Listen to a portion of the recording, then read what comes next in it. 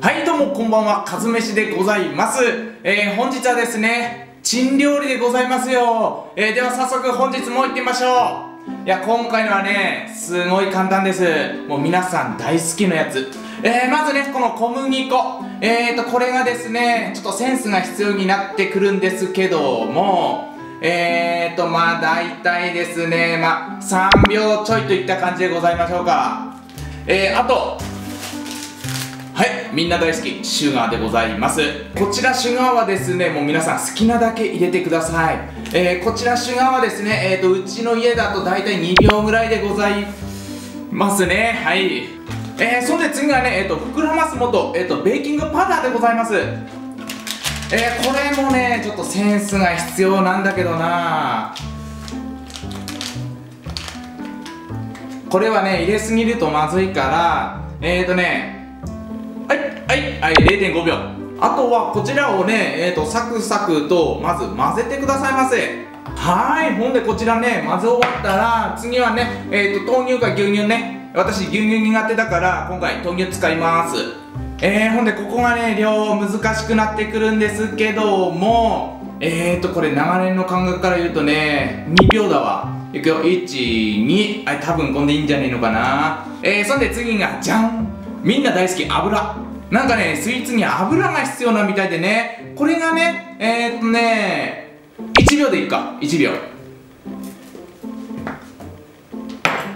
さあちょっとね今回は初めて作るからね私の長年の勘とセンスだけでやっております。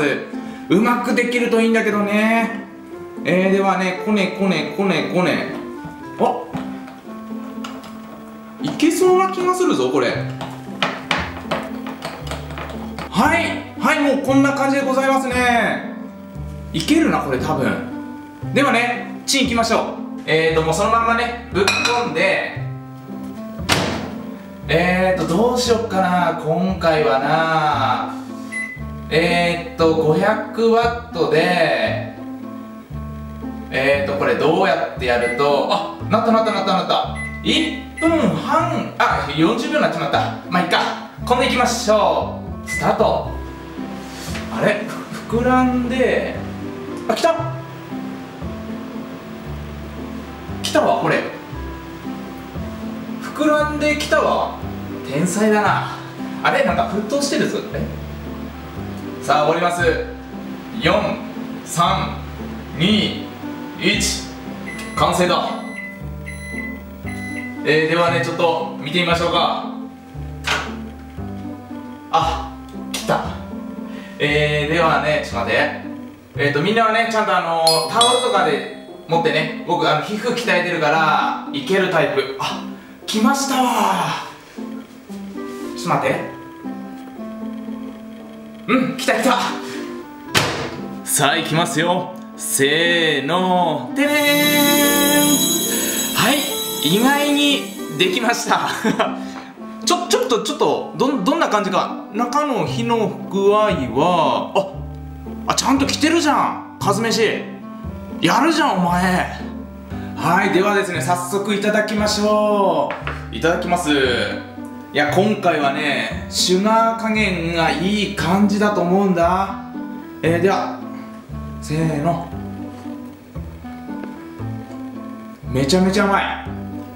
うまいわやっぱねこのスイーツってもんは甘ければ甘いほどうまくなる。うん。ああまたこのちょっと端っこの半生加減が最高でございますね。まあ皆さんの半生苦手な方っていうかまあお腹壊すことあるので皆さんあと10秒20秒長くチンしてくださいませ。え以上こんな感じでですね。えっ、ー、とパンケーキ？なんだこれ。蒸しパンか。あの蒸しパンの作り方でございました。